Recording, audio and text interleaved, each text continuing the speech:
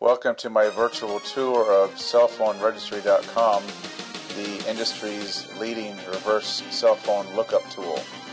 In this video, I'll give you a tour of the members area and search options for cellphoneregistry.com. Cellphoneregistry.com will completely revolutionize the way you do your reverse cell phone number searches. It'll save you tons of time, and everybody knows time is money, right? You'll get the information that you need right away. You won't have to wait and you'll have the tools that private investigators have, and I'll show you some of those tools in a minute. You'll no longer be frustrated by not being able to get the background information that you so desperately need. And you'll save time and money in the process. So let's begin our tour.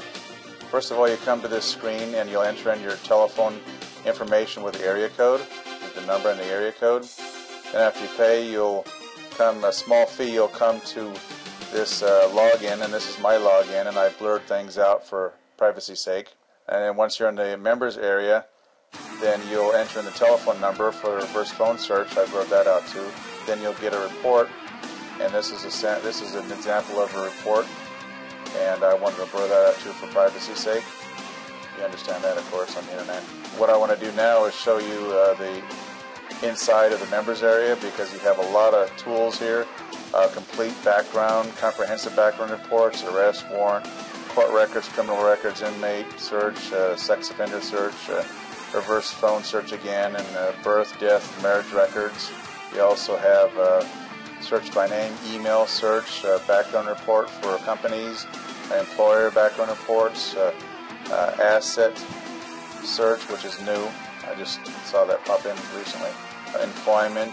Um, there's also people search, reverse landline, uh, business search sex offender, reverse IP, which is interesting, neighborhood check, email search again. That's in the unlimited search menu area. Here's an example of a uh, comprehensive background report right here.